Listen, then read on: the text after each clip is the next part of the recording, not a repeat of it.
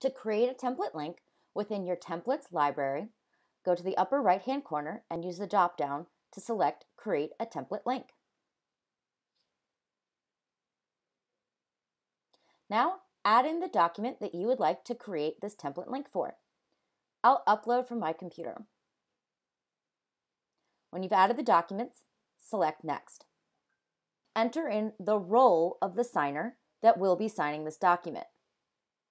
Then select Next. Place your fields down just like you would with any other template. Then select Next. Now create a title for your template and select Save Template Link. Now you can copy the link and paste wherever you would like. So within your own website, maybe within your own personal email, or through a chat service. You can also access the link within your templates library. You can come and select Copy Link, or you can also click in the general vicinity of the listing of the template link using the slide out menu.